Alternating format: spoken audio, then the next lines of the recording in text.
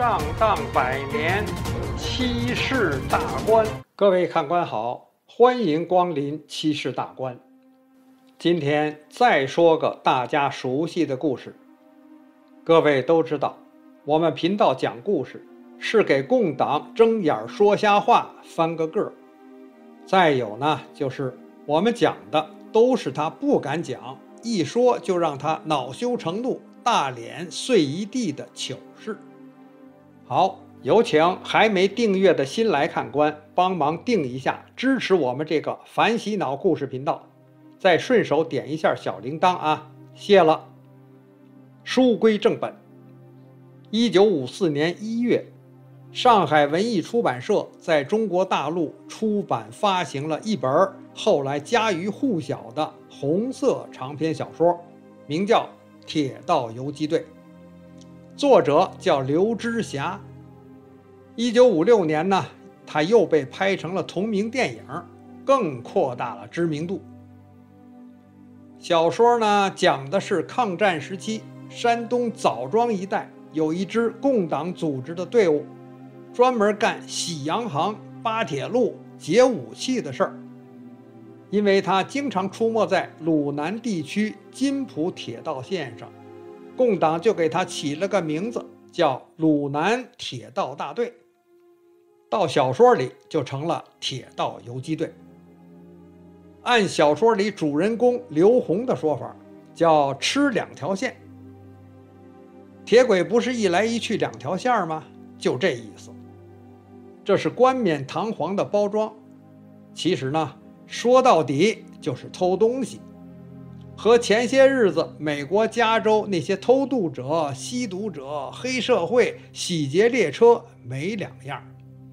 不同的是呢，美国是大白天公开抢，共党是专门找月黑风高时偷鸡摸狗。有看官可能会说，反正都是为抗日，就算偷也没错啊。这个概念的确没错，打日本咱是不分手段，本来好多物资也都是我们中国人的嘛。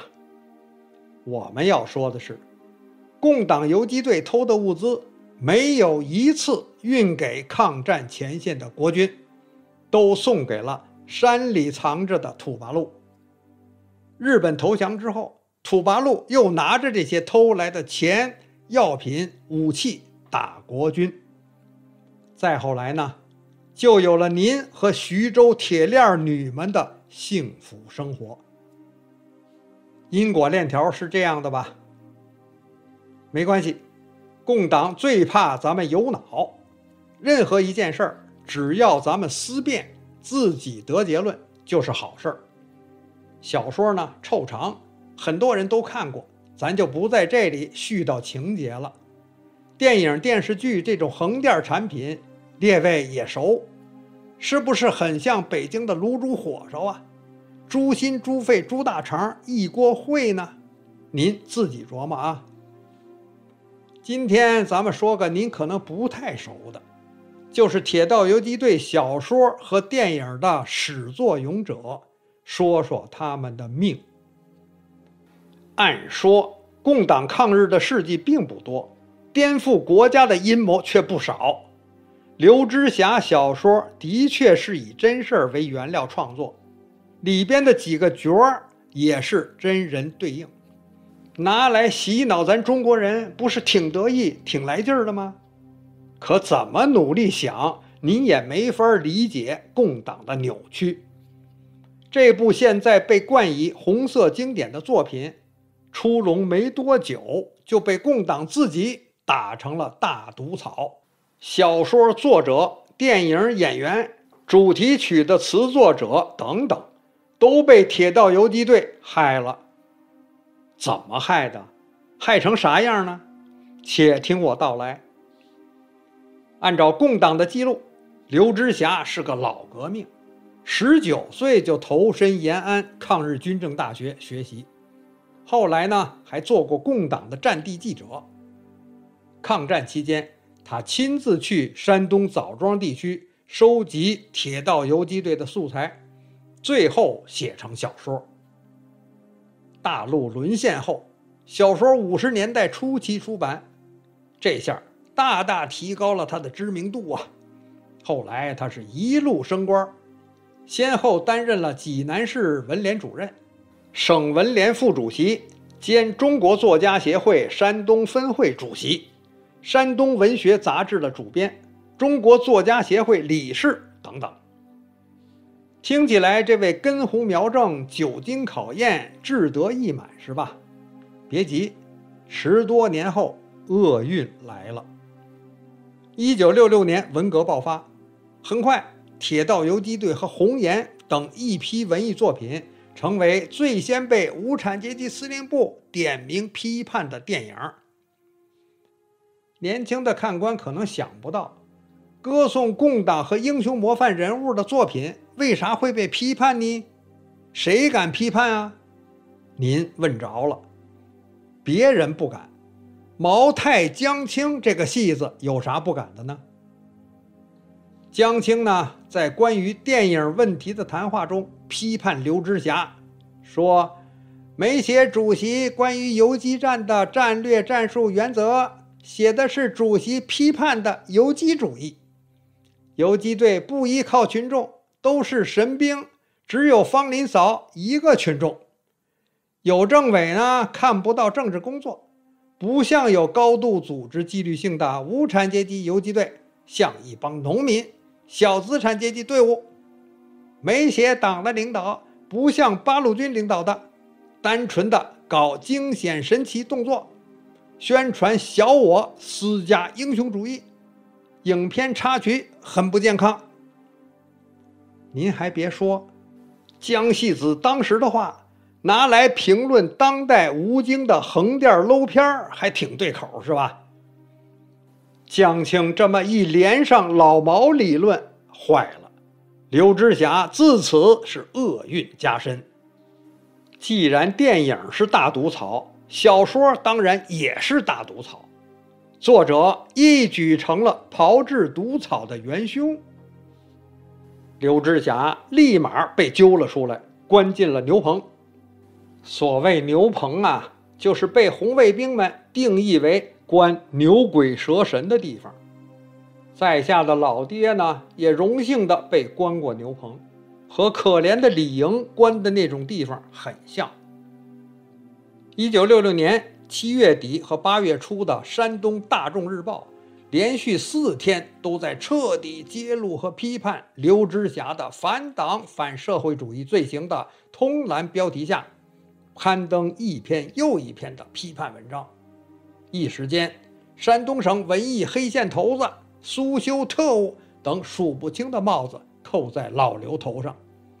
接下来，批斗、游街，甚至遭毒打、折磨他，就成了革命小将的家常便饭了。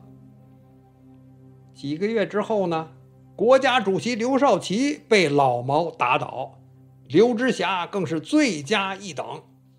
怎么呢？因为《铁道游击队》第二十七章“掩护过路”中，详尽地描写了铁道游击队掩护化名胡福的刘少奇过陇海铁路去延安开七大的历史事实。这是公然为叛徒、内奸、公贼刘少奇树碑立传啊，还得了吗？可想而知，一笔写不出俩刘的刘知霞遭到了怎样残酷的对待。老刘呢，实在扛不住了，于是在一个漆黑的深夜，逃出了被关押的地方，跑到了小说中方林嫂的原型刘桂清家。据共党官媒《刘知霞与方林嫂》一文介绍，刘桂清是毫不犹豫地把老刘藏匿于家中，而且刘知霞的通缉令就贴在他家门上。造反派也是多次来搜捕老刘，也是一笔写不出俩刘的刘桂清，每次都沉着应对，没露馅儿，不断地将老刘转移到儿女们和朋友的住处。使老刘躲过了最危险的时期。四个月后，形势好转，刘知霞这才回到了单位。文革结束之后，一些红色经典被解冻，刘知霞呢也被平反了。但共党当时还没平反刘少奇，解冻再版的铁道游击队删除了第二十七章掩护过路中关于刘少奇的段落，取而代之的是老毛语录。看官，您看过哪一版呢？刘知霞还不是最惨的，至少命保住了。电影《铁道游击队》中。政委李正的扮演者冯哲可就没这么幸运了。上影画报二零零一年第一期有篇文章，叫做《冯哲留下悬梁之谜》。文中描述他是个文化水平高、相貌英俊、谈吐风雅、演技出色、无不良嗜好的演员，扮演过若干军人角色，比如。大家肯定记得洗脑大片《南征北战》里的高营长，就是他演的。一九六三年，他还和王丹凤一起演过古装戏《桃花扇》，扮演一代名士侯公子。按现在的说法，冯哲当时是一线明星，和许多知名女星搭档。据说呢，王丹凤接演《桃花扇》，指名道姓。要求男主角侯朝宗由冯哲来演，说是因为冯哲自带风流倜傥的才子气质。冯哲原名冯仪哲，一九二零年出生于天津高级知识分子家庭。一九四一年太平洋战争爆发，在圣约翰大学读书的冯哲被迫停学，又考进上海音专主修大提琴。还真就是个才子。山哥吐槽一句啊，如果是现在，抗日抗美神剧男一号，哪轮得上长成那样的吴京那个假肌肉男呢？文革之初，冯哲就被打成文艺界黑线人物，惨遭折磨。一九六九年春。他被送到了四川成都大邑县安仁镇省文化系统干部毛思想学习班当大批判的活靶子。老冯是三天两头被轮番批斗，弄得很惨。有一次，他被押着去镇上购买副食品，返回的时候，革命小将在他挑的箩筐里发现一张小纸条，上面写着：“侯公子，我爱你。”可能是哪位女影迷仰慕他在《桃花扇》中扮演的侯朝宗，当然也不排除是有人恶搞啊。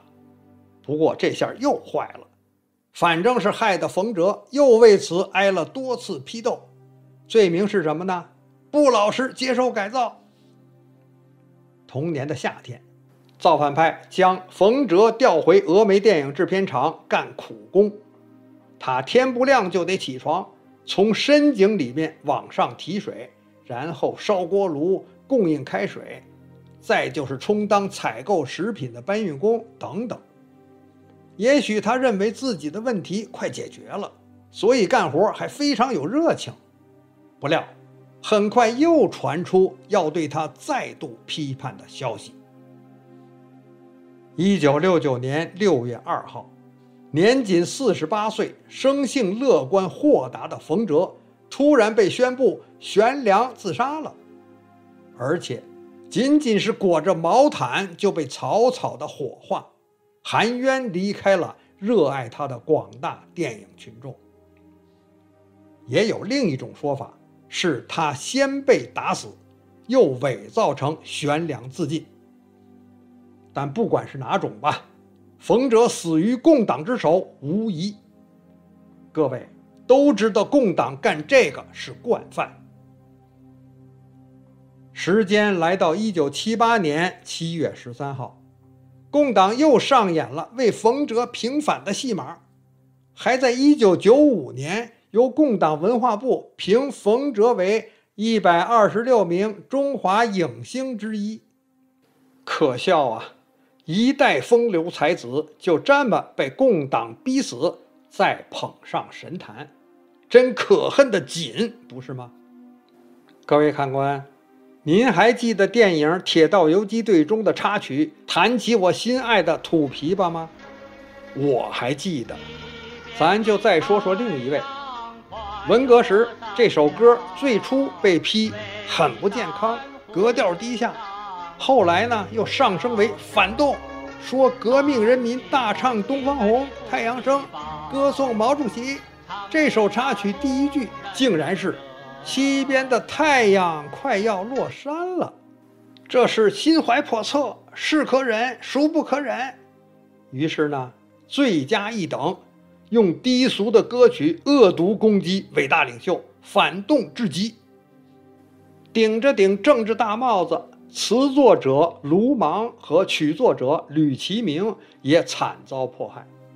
卢芒呢，被打成了叛徒集团的一员，妻子因为出身地主，也一同被打倒。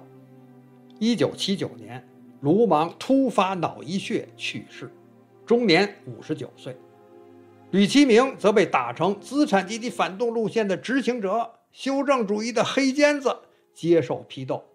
还被关进牛棚两年半，每天去电影乐团打扫演奏大厅和厕所的卫生。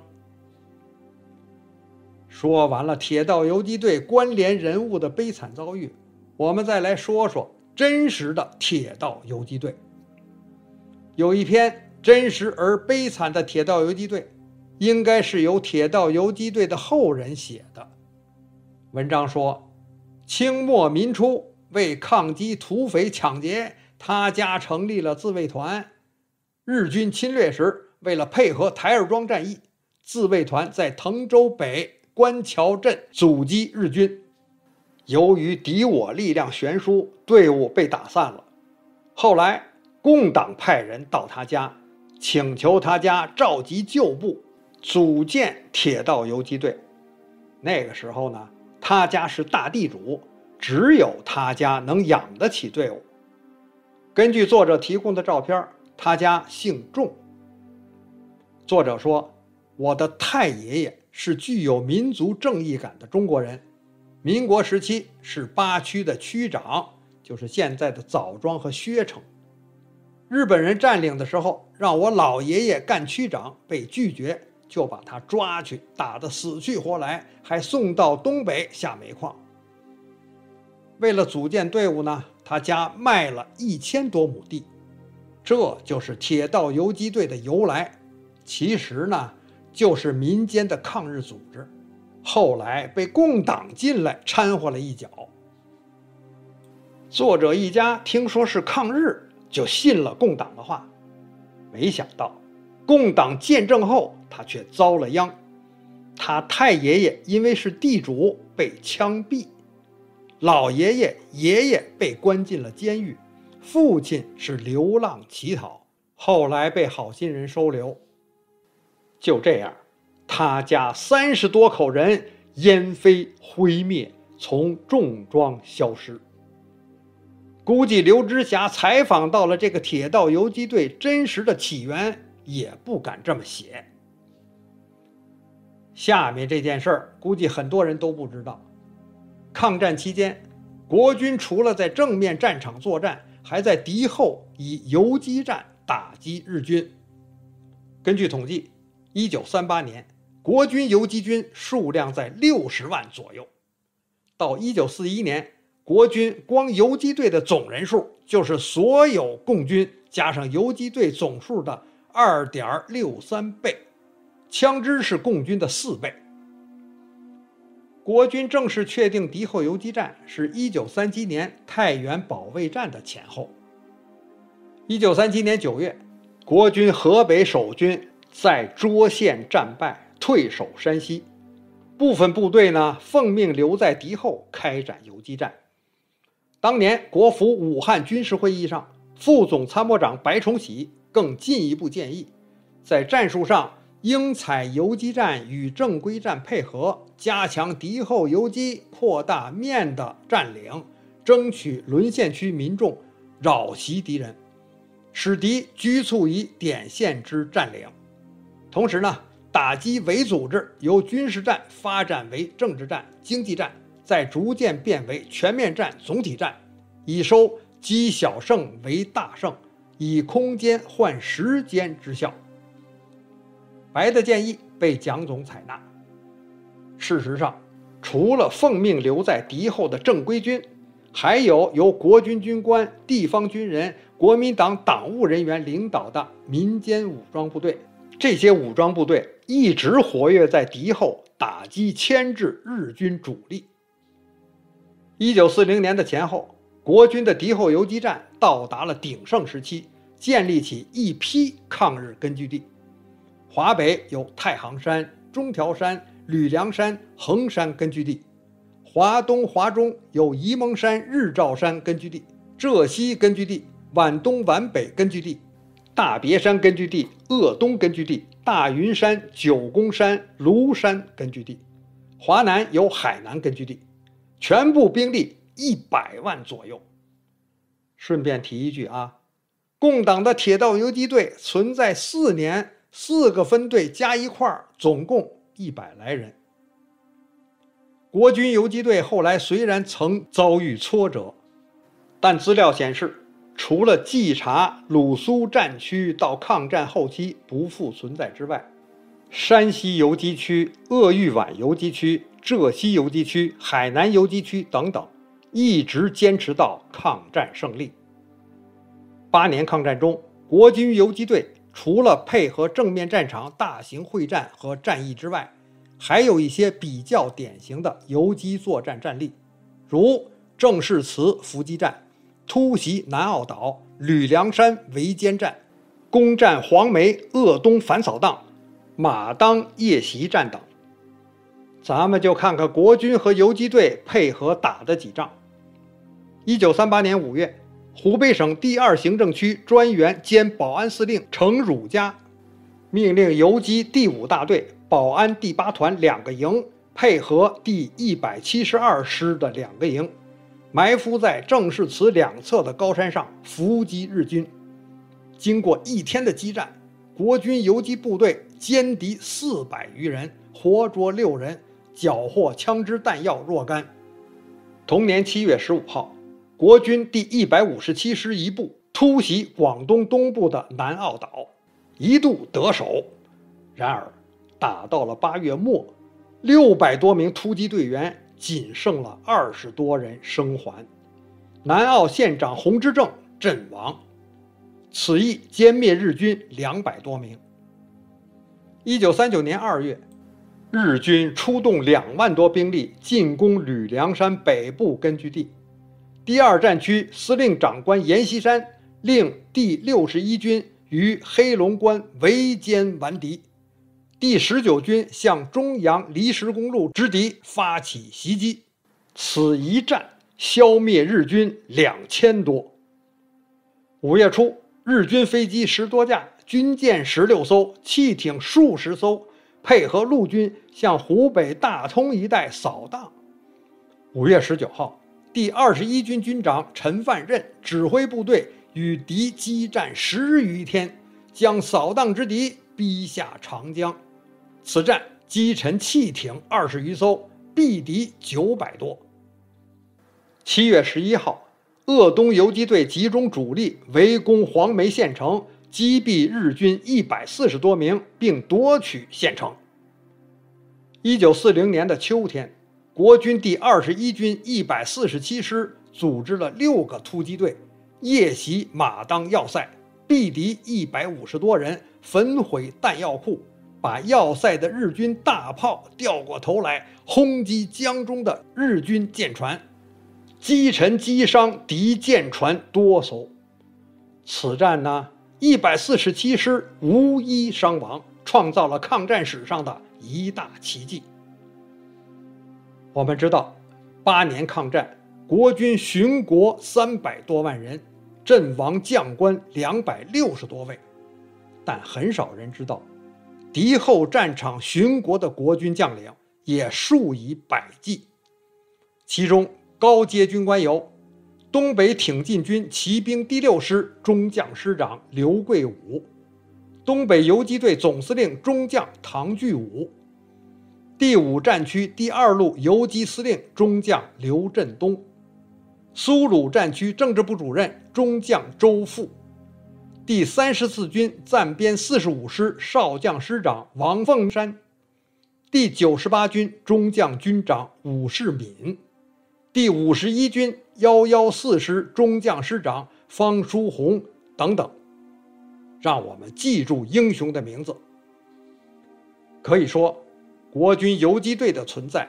有效配合了国军主力专注正面战场，牵制日军并困扰其后方，协助国府恢复沦陷区的政权，稳定民心的作用。